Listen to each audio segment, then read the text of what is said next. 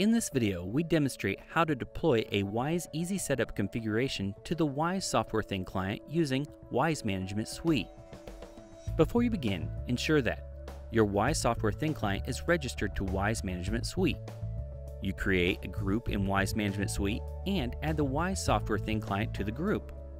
And you log into the Wyse admin account on the Wyse Software Thin client.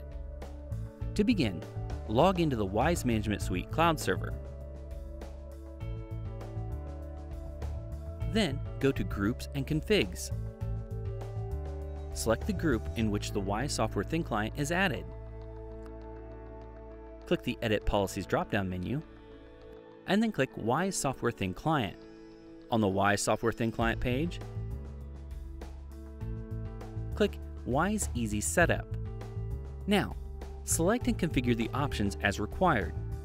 For the purposes of this video, we are enabling the sound option the mouse option, the keyboard option, and kiosk mode.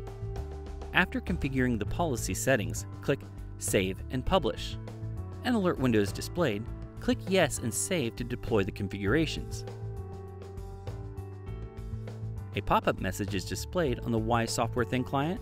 Click Update Now. You will be logged off from the Wyse admin account, and Wyse Easy Setup settings are applied to the Wyse user account.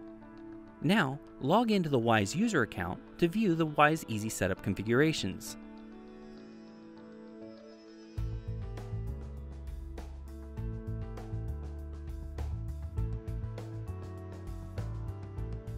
For more information, see Wyse Converter for PC documents at dell.com forward slash support.